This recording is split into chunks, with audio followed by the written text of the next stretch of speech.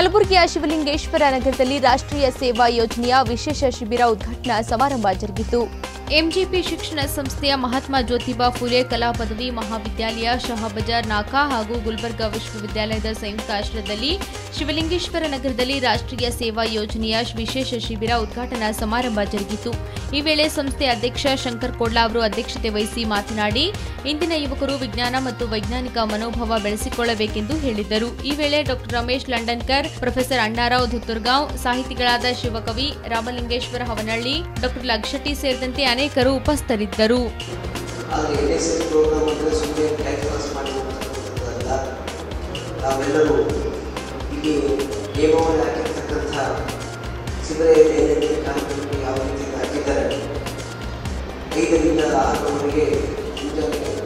ಸಮಯಕ್ಕೆ ಸರಿಯಾಗಿ ಬರ್ತದೆ ಈ ಏಳು ಏಳು ದಿವಸ ನಿಮಗೆ ಸಮಯಕ್ಕೆ ಸರಿಯಾಗಿ ಬಂದು ಈ ಕಾರ್ಯಕ್ರಮ ಮಾಡಿಸ್ತೀರಿ ಏಳು ಮೂವತ್ತರಿಂದ ಪ್ರಜಾರೋಹಣ ಏಳು ಮೂವತ್ತು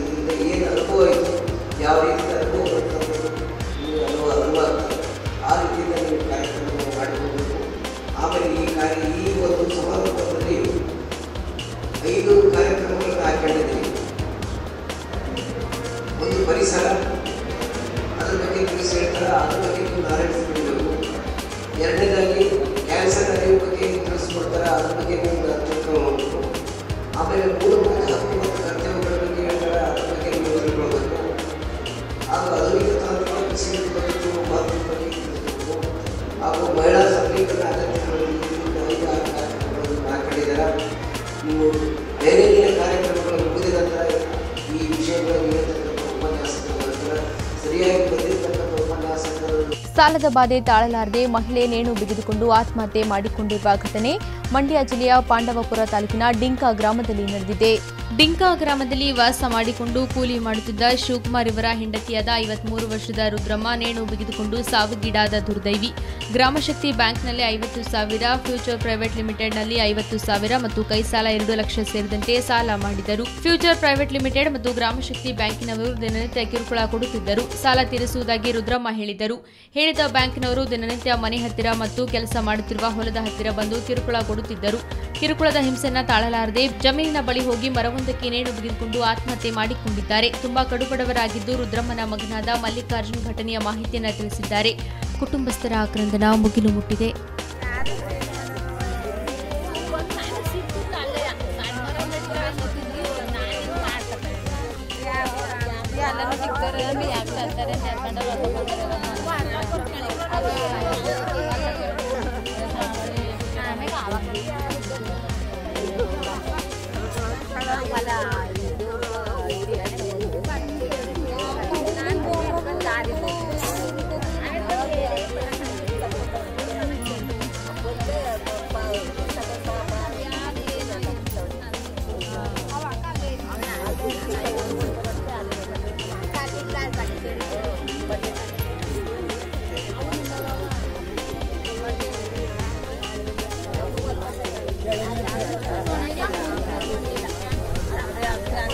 ಮಂಡ್ಯ ಜಿಲ್ಲೆಯ ಮಂಡ್ಯ ಪಟ್ಟಣದ ಶ್ರೀ ವಿಜೃಂಭಣೆಯಿಂದ ನಡೆದ ಹೊಸಹೊಳಲು ಶ್ರೀ ಲಕ್ಷ್ಮೀನಾರಾಯಣ ಸ್ವಾಮಿ ಬ್ರಹ್ಮ ರಥೋತ್ಸವ ಶ್ರೀರಥದ ಕಳಸಕ್ಕೆ ಹಣ್ಣು ಜವನ ಸಮರ್ಪಿಸಿ ಕೃತಾರ್ಥರಾದ ಭಕ್ತರು. ಗೋವಿಂದ ಗೋವಿಂದ ವೆಂಕಟರಮಣ ಎಂದು ಮೊಳಗಿದ ಜಯಘೋಷಗಳು ಕೃಷ್ಣರಾಜಪೇಟೆ ತಾಲೂಕಿನ ಪುರಾಣ ಪ್ರಸಿದ್ಧವಾದ ಹೊಸಹೊಳಲು ಗ್ರಾಮದ ಶ್ರೀ ಲಕ್ಷ್ಮೀನಾರಾಯಣ ಸ್ವಾಮಿಯವರ ಬ್ರಹ್ಮ ರಥೋತ್ಸವವು ಸಡಗರ ಸಂಭ್ರಮದಿಂದ ಅದ್ದೂರಿಯಾಗಿ ನಡೆಯಿತು. ಮುಜರಾಯಿ ಅಧಿಕಾರಿಗಳಾದ ತಹಸೀಲ್ದಾರ್ ಎಂ ಶಿವಮೂರ್ತಿ ಶ್ರೀರಥದಲ್ಲಿ ವಿರಾಜಮಾನರಾಗಿದ್ದ ಉತ್ಸವ ಮೂರ್ತಿಗೆ ವಿಶೇಷ ಪೂಜೆ ಸಲ್ಲಿಸಿ ರಥೋತ್ಸವಕ್ಕೆ ಚಾಲನೆ ನೀಡಿದರು. ನಾಡಿನ ನಾನಾ ಭಾಗಗಳಿಂದ ಆಗಮಿಸಿದ್ದ ಸಾವಿರಾರು ಭಕ್ತರು ಗೋವಿಂದ ಗೋವಿಂದ ವೆಂಕಟರಮಣ ಶ್ರೀನಿವಾಸ ಎಂಬ ಜಯಘೋಷಗಳೊಂದಿಗೆ ಉತ್ಸಾಹದಿಂದ ಶ್ರದ್ಧಾ ಭಕ್ತಿಯಿಂದ ರಥೋತ್ಸವದಲ್ಲಿ ಭಾಗವಹಿಸಿದ್ದರು. ರಥೋತ್ಸವದಲ್ಲಿ ಭಾಗವಹಿಸಿದ್ದ ಭಕ್ತಾದಿಗಳಿಗೆ ಉಚಿತ ಪ್ರಸಾದ ವ್ಯವಸ್ಥೆಯನ್ನು ಕಲ್ಪಿಸಲಾಗಿತ್ತು. ಪಟ್ಟಣದ ಪೊಲೀಸ್ ಠಾಣೆಯ ಸಬ್ ಇನ್ಸ್ಪೆಕ್ಟರ್ ಎಚ್ಎಸ್ ವೆಂಕಟೇಶ್ ಬಿಗಿ ಪೊಲೀಸ್ ಬಂದೋಬಸ್ತ್ ಏರ್ಪಡಿಸಿದ್ದರು. ಪುರಸಭೆ ಮುಖ್ಯಾಧಿಕಾರಿ ಮೂರ್ತಿ ಮುಜರಾ ಇಲಾಖೆಯ ರಾಜೇಶ್ವರಿ, ನಿರೀಕ್ಷಕಿ ಚಂದ್ರಕಲಾ, ಪುರಸಭೆ ಮಾಜಿ ಅಧ್ಯಕ್ಷ ಎಚ್ಕೆ ಅಶೋಕ್, ಸದಸ್ಯರಾದ D Premkumar KS Santosh KR Hemanth Kumar, Nagaraju, Dinesh HR Lokesh, ಮುಖಂಡರಾದ G Somashekar, Srinivas Shetty, Ramegowda HD Raju KR Ravindra Babu, Hoysala ಸಾವಯವ, ಕೃಷಿ ಪರಿವಾರದ ಸಂಚಾಲಕ ಹರೀಶ್, ಪುಟ್ರಾಜು ಎಚ್ಬಿ ರಾಜು, ಶಿವಣ್ಣ ಸೇರಿದಂತೆ ಸಾವಿರಾರು ಜನರು ರಥೋತ್ಸವದಲ್ಲಿ ಭಾಗವಹಿಸಿದ್ದರು.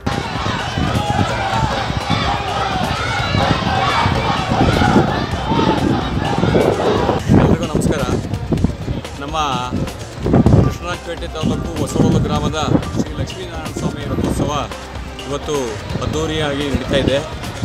ಈ ಸಂಬಂಧ ಸುಮಾರು ಈ ರಥೋತ್ಸವ ಶುರುವಾಗಿ ಒಂದು ಸುಮಾರು ನಲವತ್ತ ಮೂರು ವರ್ಷಗಳಾಗಿವೆ.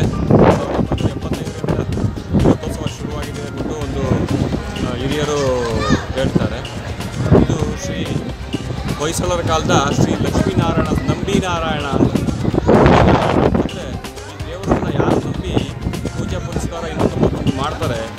ಈ ದೇವರು ತುಂಬಾ ಒಳ್ಳೇದು ಮಾಡ್ತಾನೆ.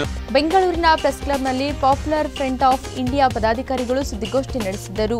ಮುಂಬರುವ ಲೋಕಸಭಾ ಚುನಾವಣೆಯ ಹಿನ್ನೆಲೆಯಲ್ಲಿ popular front of India March ಆರರಂದು ನವದೆಹಲಿಯಲ್ಲಿ ಮುಸ್ಲಿಂ ರಾಜಕೀಯ ಸಮಾವೇಶವನ್ನು ಆಯೋಜಿಸಿದ್ದು, ವಿವಿಧ ಸಾಮಾಜಿಕ ರಾಜಕೀಯ ಹಿನ್ನೆಲೆಯಲ್ಲಿ ಮತ್ತು ವಿವಿಧ ರಾಜ್ಯಗಳಲ್ಲಿ ಪ್ರತಿನಿಧಿಸುವ ಬುದ್ಧಿಜೀವಿಗಳು, ವಿದ್ವಾಂಸರು, ಸಮುದಾಯ ನಾಯಕರು ಇದರಲ್ಲಿ ಭಾಗವಹಿಸಿದ್ದರು. ಪುಸ್ತಕ ರಾಜಕೀಯ ಪರಿಸ್ಥಿತಿ, ರಾಷ್ಟ್ರದ ಮುಂದಿರುವ ಸವಾಲುಗಳ ಬಗ್ಗೆ ಚರ್ಚೆ ನಡೆಸಿ ಅಲ್ಪಸಂಖ್ಯಾತರ, ಅದರಲ್ಲೂ ಮುಸ್ಲಿಮರ ಕಳವಳವನ್ನ ಮುಂಚೂಣಿಗೆ ತಂದು ಅವುಗಳನ್ನು ಪರಿಹರಿಸುವ ಬಗ್ಗೆ ನಿರ್ಧಾರ ತೆಗೆದುಕೊಳ್ಳಲಾಯಿತು.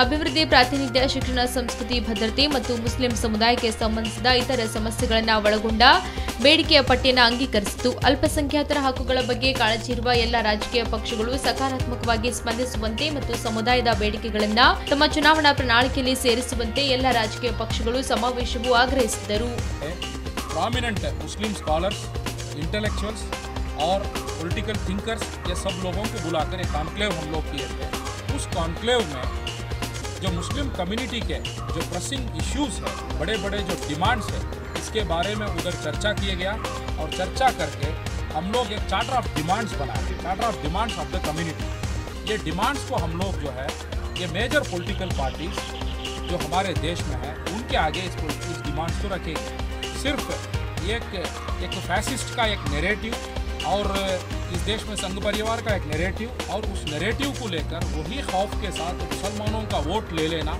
ऐसा नहीं चलेगा। तो हमारा एक डिमांड है, कम्युनिटी का एक बहुत बड़ा डिमांड है। कम्युनिटी जो है सत्तर साल आज़ादी होने के बावजूद जो है बहुत सारा एक्सपेक्टेशन के साथ है। उस एक्सपेक्टेशन को कौन से पॉलिटिकल पार्टी फुलफिल करेंगे और एक्सपेक्टेशन क्या है? उनके मैनिफेस्टो में कौन कौन एक्सपेक्टेशन को वो लोग ऐड करना है? ये सब चीज़ों को लग, रखकर हम लोग, ये मुस्लिम पॉलिटिकल कॉन्क्लेव हम लोग दिल्ली में किए थे। अभी फ्रॉम कर्नाटका हम लोग कम्युनिटी के दरमियान में जाएँगे पॉलिटिकल लीडर्स के दरमियान में जाएँगे, जाकर ये क्या क्या हमारा डिमांड है? जॉबलेसनेस को लेकर सिक्योरिटी इश्यूज़ को लेकर, बाबरी मस्जिद का इश्यूज़ को लेकर जो प्रेसिंग डिमांड्स है। सरचार पैनल का जो जो इश्यूज़ आइडेंटिफाई हुए उसके साथ रंगनाथ मिश्रा का जो रिकमेंडेशंस है, ऐसे तकरीबन 70 प्लस जो है, हमारे डिमांड्स को हम लोग रखे हैं। तो इस डिमांड को लेकर हम लोग मेंबर ऑफ़ पार्लियामेंट के मेजर पॉलिटिकल पार्टी के कैंडिडेट्स हैं, उनको भी जाकर मिलकर हम लोग प्रेशराइज करेंगे। उनके पार्टी प्रेसिडेंट्स उनके लीडर्स को भी हम लोग प्रेशराइज करेंगे। साथ साथ मुस्लिम उलमाओं को भी जाकर हम लोग एनलाइटन करेंगे।